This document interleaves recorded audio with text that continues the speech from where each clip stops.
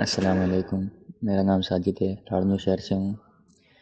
मेरा सवाल है कि उस मस्जिद में हम नमाज़ पढ़ सकते हैं, जहाँ पर इमाम ज़ोर से आमीन नहीं बोलता या फिर रफ़ा नहीं करता? तो इस तरह के अकीदे वाले इमाम के पीछे क्या हम नमाज़ पढ़ सकते हैं?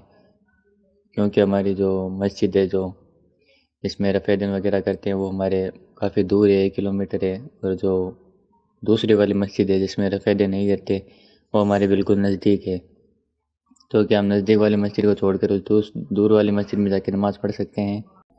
भाई साहब का सवाल ये है जिस मस्जिद में आमीन ज़ोर से नहीं होती है रफलदीन नहीं होता है तो उसमें हम नमाज़ पढ़ सकते हैं? कहते हैं एक और मस्जिद है जिसमें आमीन भी होती है रफलदीन भी होता है लेकिन वो दूर पड़ती है। आ, मेरे भाई एक सवाल अगर मैं ये करूँ कि आपको कोई सामान ख़रीदना है जैसे मोबाइल आपको लेना है तो आपके घर के पास एक शॉप है लेकिन वहाँ पे मोबाइल की कीमत पंद्रह हज़ार रुपये है। लेकिन थोड़ा दूर जाके लेंगे तो उसकी कीमत दस हज़ार रुपये। सेम वही मोबाइल वही क्वालिटी वही वर्ज़न है, सब कुछ वही है। तो आप बताइए कि आप अपने घर के पास जो दुकान है वहाँ से लेंगे या जो दूर है वहाँ से लेंगे? तो ज़ाहिर सी बात है कि आप दूर ही जाएँगे क्योंकि वहाँ आपका फ़ायदा ज़्यादा है।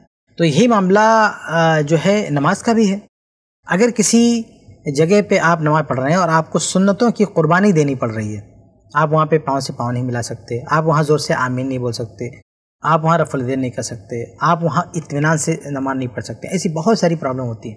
यानी आपका अजर सवाब काफ़ी हद तक जो है माइनस हो जाता है वहाँ पे। जबकि अलहदीस मस्जिद में जाएँगे तो आप तादिल अरकान के साथ नमाज़ पढ़ेंगे, जमात के साथ आप आमीन भी कहेंगे, वो फजलत भी आपको मिल जाएगी। यानी बहुत सारा बेनिफिट है। इसलिए हम आपके सामने यही कहेंगे कि आप ये सवाल ना उठाइए कि जायज़ है कि नहीं है। ये सवाल उठाइए कि बेहतर क्या है। जायज़ नाजायज़ का सवाल नहीं उठाइए। मैं इसको मिसाल से समझाते रहता हूँ कि अगर आपको अपनी बेटी का रिश्ता करना है तो एक रिश्ता उस शख्स का है जो शराब पीता है और एक रिश्ता उस शख्स का है जो नमाजी है, शराब नहीं पीता है। तो आप यहाँ पे ये सवाल नहीं उठाएँगे कि शराबी से शादी करना जायज़ है कि नहीं जायज़ है। आप सवाल ही उठाएँगे कि बेहतर क्या है? आप यही सवाल उठाएँगे कि बेहतर क्या है? एक रिश्ता शराबी क्या है? गैर शराबी क्या है?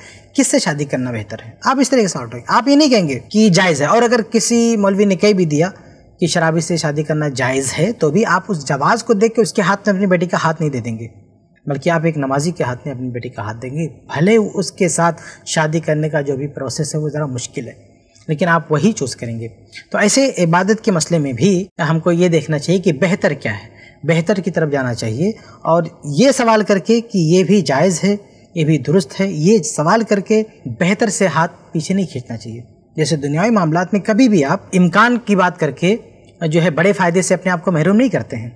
जैसे बहुत सारे लोग देखिए, सर्विस करना हो, जॉब करना हो तो अपना गाँव, अपना इलाका छोड़ के शहर में आ जाते हैं। बल्कि कितने लोग तो शहर छोड़ के, अपना मुल्क ही छोड़ के किसी और मुल्क में चले जाते हैं।